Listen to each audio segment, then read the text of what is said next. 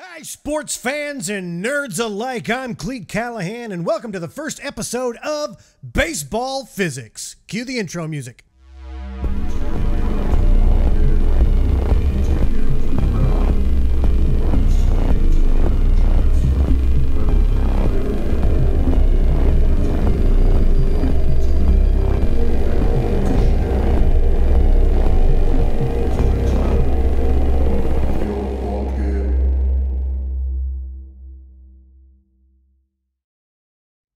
So, this is a series where I'm going to be combining two things that I love very much baseball and physics. And uh, we're going to combine them to, to kind of teach you a little something that you may not know. If you know it already, that's fine. Uh, if you don't want to know it, that's fine. But uh, I'm interested in it, and what the hell. All right, so in this episode, we're going to talk about something that you've probably heard a whole bunch in baseball, especially in the new StatCast era, and that is something called launch angle. What exactly is the launch angle? Okay, so before we talk about exactly what launch angle is, we should talk about first the evolution of swing analysis. And for that, we're going to have to go all the way back to the 1990s and the mythical Montreal Expos. Before this time period, most of the data collection dealt with the pitchers, since they were the athletes on the field that were initiating the motion of the ball. Velocity, pitch count, uh, strikeouts. These stats were countable or easily identifiable, and it was these easily identifiable stats that promoted the decisions from front office management and scouts. Back in the 1990s, the Montreal Expos had a general manager by the name of Dan Duquette. Yes, the same Dan Duquette that drafted Tim Wakefield, uh, Johnny Damon, Jason Varitek, Kevin Youkilis, Derek Lowe, Manny Ramirez, Nomar Garciaparra, and it was the same Dan Duquette who, while working for the Red Sox, brought over a little known pitcher by the name of Pedro Martinez. Sadly, he is more so known in Boston as the GM who let Roger Clemens slip away in free agency. Um, it was sad. Anyway, Dan Duquette was kind of like the Billy Beane uh, before Billy Beane was known and before Moneyball was going on because he was looking at the ways that hitters were hitting the ball, not the way that pitchers were throwing it. Dan Duquette, along with his fitness consultants, they they knew that the only way that they could compete with the big budget teams was to further dive into the actual science of baseball. And this is why I love physics because you can't argue the laws of the universe. If there are certain laws in place with the way that the ball and the bat operate, that produce good numbers, you can't argue against that. Let's get the players that produce those good numbers. You know, forget about, oh, he's got a hell of a swing, that player, or, oh, he's built like a ball player. Or did you ever shake his hand? He's got hands like a ball player. That boy's had a baseball mitt in his crib since before he was suckling on his mama's teeth. Sorry. That's not what makes good ball players, is my point. Those are subjective opinions.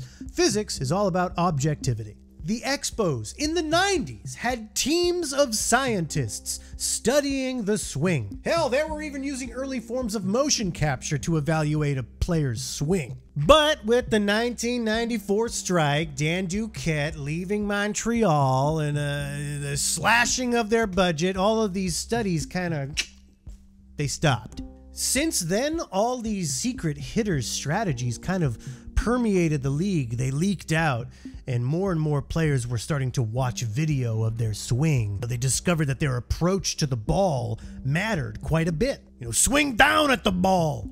That wasn't necessarily the best way to go about it. Fast forward to the 2010s. I don't know when the term launch angle actually uh, came out uh, in in the public, but I do remember hearing it back when Josh Donaldson, uh, a vocal proponent for launch angle, won the AL MVP. Uh, I met him, by the way. Super nice dude. Okay, Clee, enough of the history lesson. What the heck is launch angle? Okay, okay, okay. Let me get a bat. I forgot to get a bat and a ball. Okay, so here's a bat. This is a left 4 Dead 2 promotional bat that I got when I used to work at GameStop. And we have a ball. This is a ball. This is the only game ball I ever won in Little League. I hit a triple. Anyway, so, okay, if we were to do a bird's eye view, this is what the bat would look like hitting the ball.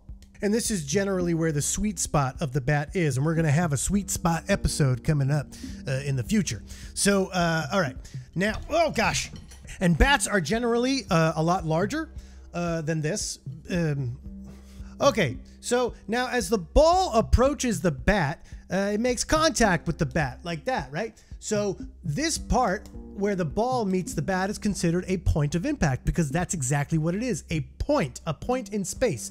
Now you could say, Cleat, there's a lot of surface area that's being touched between the bat and the ball. That's true. What you essentially would want to do is take the middle ground of there, as you can see in this demonstration, that the point is essentially the centers of the surface areas when they touch. The center of mass on an object is the point on that object, where you can assume that the entirety of that object's mass is concentrated. So for a baseball, it would be dead center right in the middle. Okay, in other words, it's the point of an object where if you had to imagine this object as a single atom, where would that atom be? If we draw a line between the center of mass of this object and the center of mass of this object, then you'd get a, a line. And that's that's cool, right? But considering that the bat is inflicting a force upon this ball, that line is now a vector. Vector. So at the point of impact, let's add an x and y axis. If we consider the x-axis as 0 degrees and the y-axis as 90 degrees, then the angle indicated here, let's use theta, is the launch angle. Hooray! Cut back to me, we figured it out. Nice! Now, depending on where that ball is going to be, the launch angle is going to be different, right? Right. So if the ball hits at zero degrees, it means the launch angle is at zero degrees. Okay, so if the launch angle is at 90 degrees and the ball goes straight up, you got yourself a pop up. Any ball that's hit below the zero point on the x axis is definitely going to be a grounder, okay? Ooh, that's a great sound.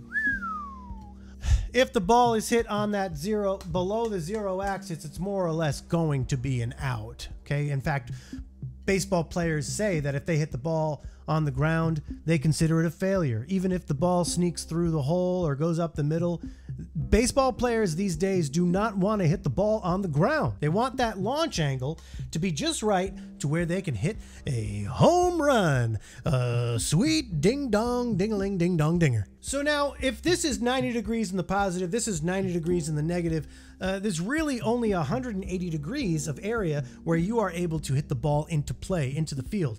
If the pitch is coming in this way and you decide to hit it this way, you have grossly misunderstood the purpose of baseball. All right, so that's great. We know what a launch angle is, but how do you hit the ball far? If the purpose of baseball is to hit the ball far and hard, the, uh, what is the best launch angle to do that? How hard do you need to hit the ball to hit it over the fence? Well, we're going to get into that in our next episode when we discuss Newton's second law of motion force equals mass times acceleration. That's going to do it for our first episode of Baseball Physics. Thanks for tuning in. Make sure you push that subscribe button. Make sure you push that alert button. Make sure you give me a thumbs up. Make sure you comment below if you have any questions about further episodes. Also, follow me on Facebook at Cleat Callahan. Follow me on Instagram at Cleat Callahan. Follow me on Twitter at Cleat Callahan. Why don't you watch me? Watch you.